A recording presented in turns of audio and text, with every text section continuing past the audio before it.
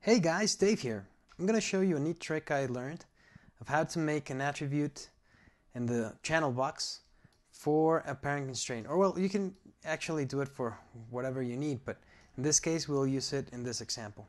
So I have in this scene Stewie and I want him to grab the sign. So I need to make a parent constraint. Okay, I grab the driver, which is the wrist controller, shift select the driven, which is my object, and go to constraint and parent.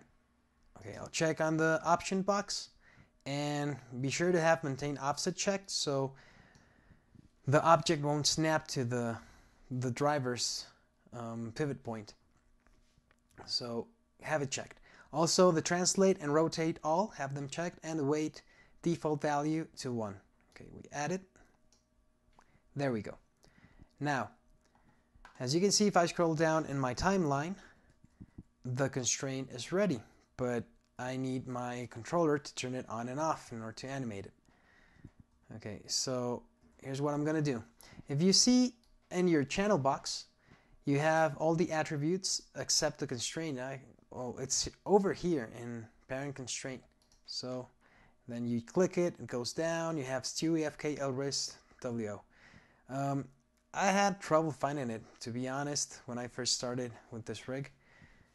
But um, with this tip, uh, it's made my life easier. So what I do is edit, um, add attribute, and here I'll just name it sign underscore constraint and have it as a keyable attribute and go ahead and press OK. So now we have this one here. But right, but it, it doesn't have really a connection because it's just the attribute. We need to link the input node Stewie FKL wrist WO to the output node sign constraint. So let's go ahead and do that. We go to edit, connection editor. We have this set of columns. On the outputs, we select the sign constraint attribute we just created, go reload left, and we just go and find it, and it's right here at the bottom. Select it. Then on the input nodes, we'll select this one. Okay, if you just select it right here and go to right uh, reload or reload right, you won't be able to find it.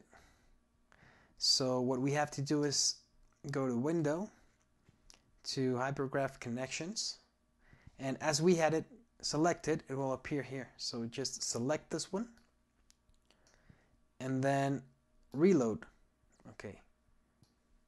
So if we go to the top, we see now we have the FP sign parent constraint on this column, the input. Okay, and we look for the Stewie FKL wrist WO. It's right here. We select it. And now, as both texts are slanted, this means the connection has been made. So we just close it here. okay. We can close the hypergraph too. And if we select the, the object and change the value of the sign constraint attribute we created to 1, notice how as I press enter here, this one will also change.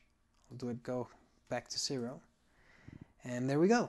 So now if I go one here and key it and then go back one frame and turn it off okay. And if I slide it I see that the constraints working as I wanted to. And if we go to graph editor and select our object okay you'll have um, all the translate and rotations displayed with the constraint. But also at the very end you have this the the extra attribute we created. And it's easier to find it. You can simply minimize this ones and have it right there. See? This one's a visibility and this one's my constraint. So well there you go. That's the tip of the day. I hope you guys liked it and if you guys um, know uh, a better way to do this or a different method to have a, a constraint controller, uh, it'd be much appreciated if you guys could give me a feedback and I'll learn to do it and I'll for sure do another tutorial with a better or another different idea of constraints. Well, till next time, you guys keep rocking, keep animating, and mostly have fun. Cheers!